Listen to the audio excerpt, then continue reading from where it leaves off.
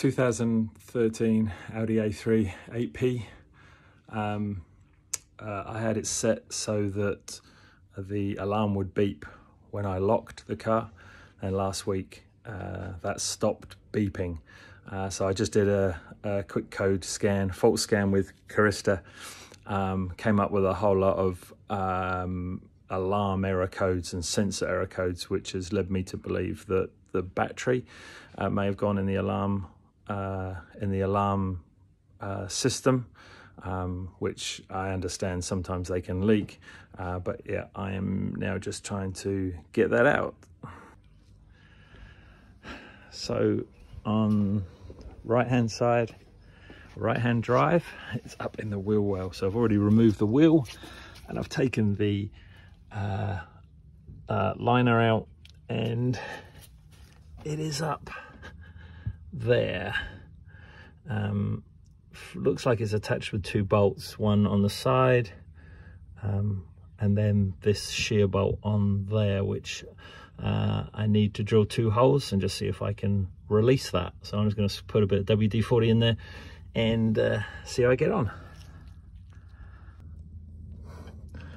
Okay, I've drilled a couple of holes. I'm just going to use a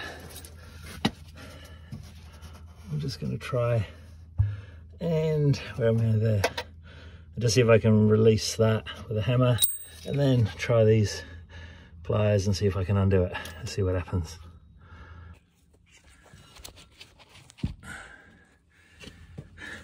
Alrighty. So I got that to move a little bit. I'm now going to try these straight ones, which I think are going to be easier. Yeah. That's better.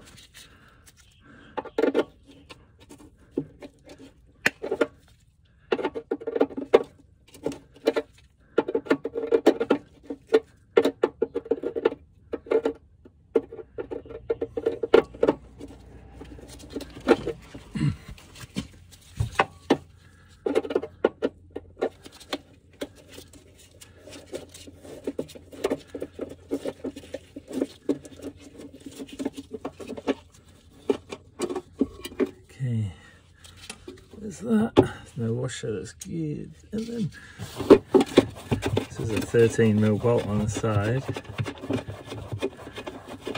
Or not. Other. And we got. So, I see. That bolt just is. And then see how I can get that plug out. Is it a lifty one or a pushy one?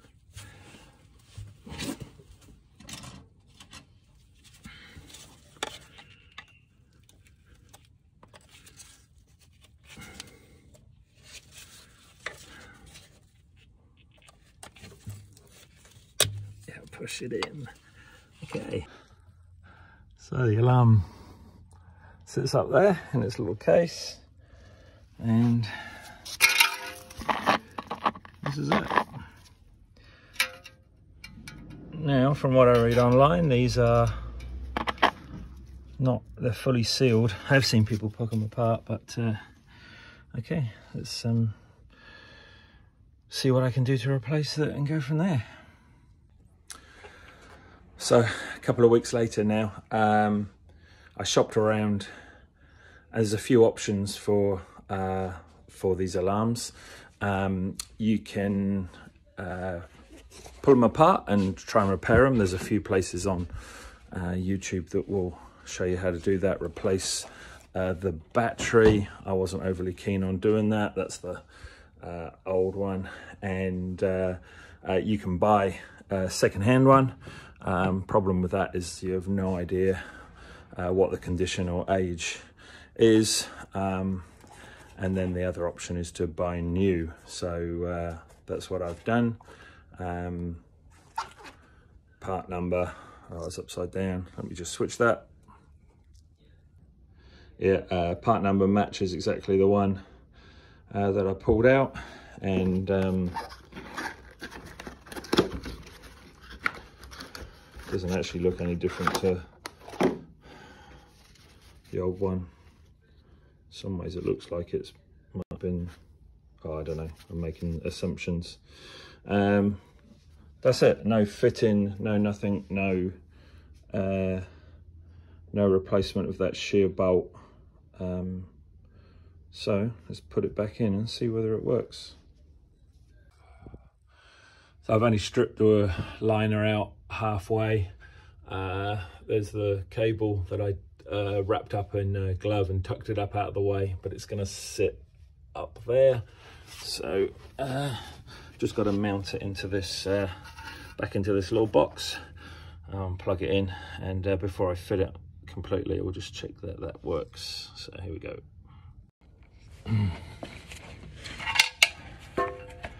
so replacement shear bolt. I uh, I've just got an ordinary uh, bolt that I'm going to put in. I'm not really worried about somebody coming in here and stealing it. So that uh, sits in there. And I don't need a spanner.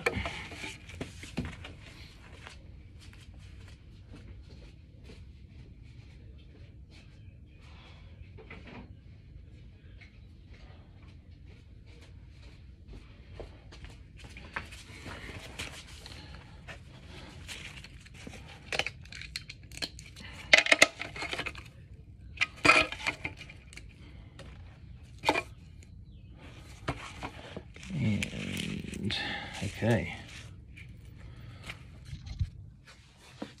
I'm not sure whether you can see. Uh, maybe if I pop it like, like that, you may be able to see better, but let's uh,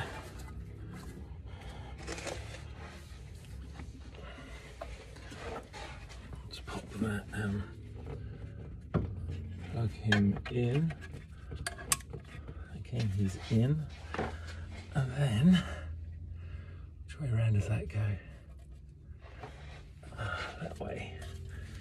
The wire.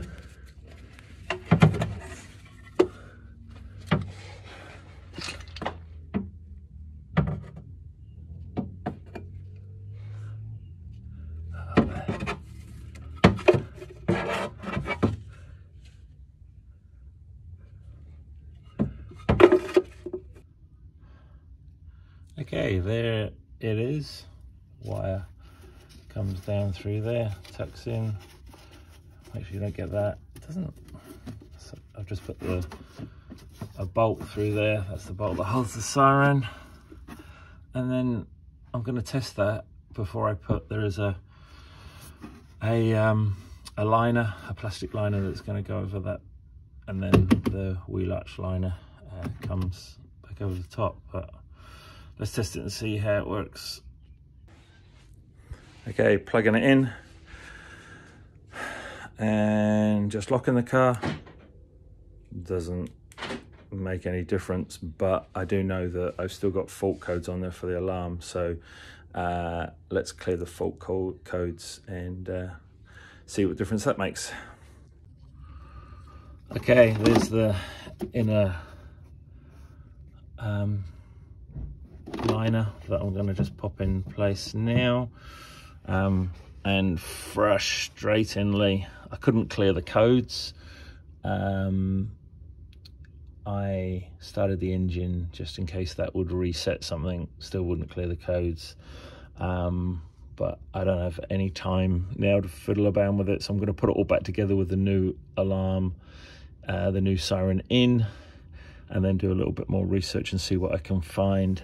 I know these uh, sirens have little rechargeable batteries. Maybe it has to charge. I don't know. Um, clutching at straws a little bit, bit frustrating, but uh, I will do some research and see what I can find.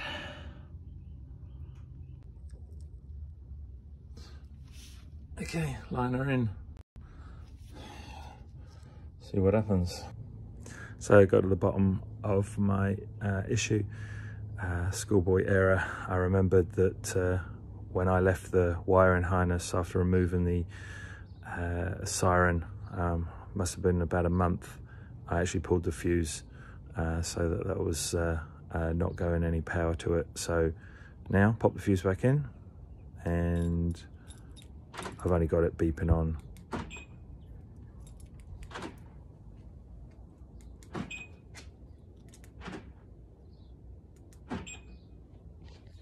Job done. Happy days.